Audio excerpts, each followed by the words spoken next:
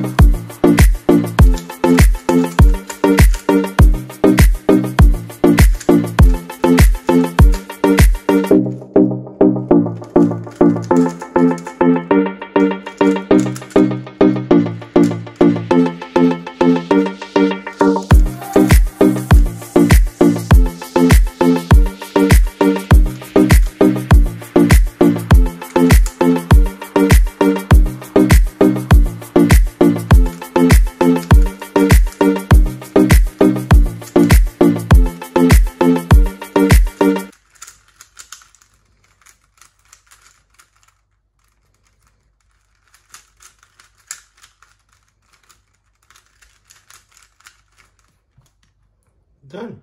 Yeah. And I scored two minutes and eight seconds. Show me the Rubik's Cube. And